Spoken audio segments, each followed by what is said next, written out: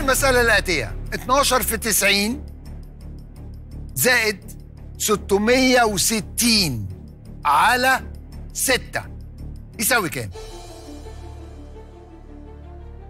12 في 90 زائد 660 على 6 يساوي 1190 إجابة صحيحة. طبعا. برافو عليك يا محمد. طبعا. برافو عليك.